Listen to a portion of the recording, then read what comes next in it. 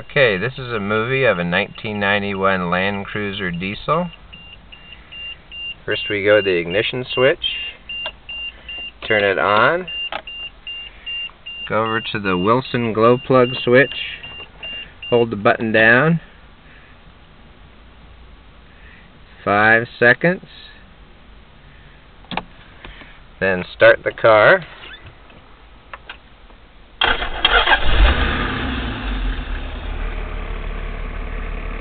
Okay.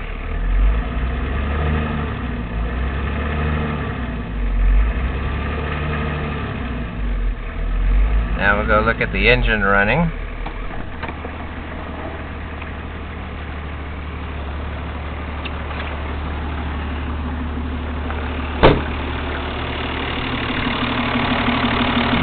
Here's a 1HZ diesel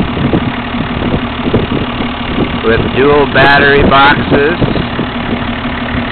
fuel filter right below, newly rebuilt injection pump,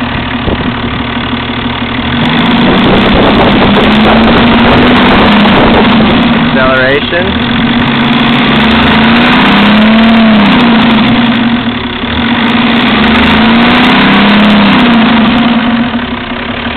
Here's the battery cutoff switch. Left battery. Another view of the fuel filter. It's a Racor marine filter. Here's a view of the right battery. And here is the Blue Seas battery isolator.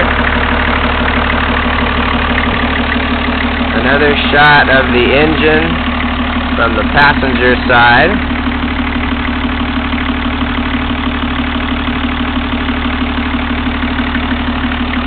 And then we'll walk around the car.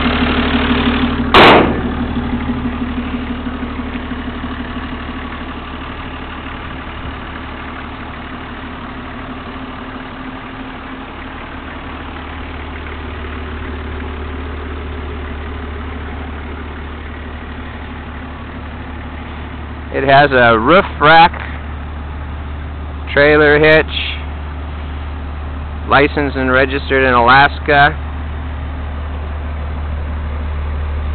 The exhaust is clear. Car still running. Coming down the passenger side.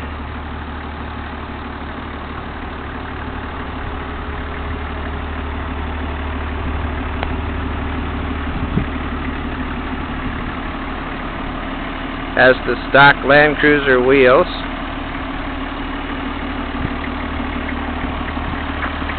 And a view from the front. That's it. 1991 Land Cruiser 1HZ diesel with a 5-speed manual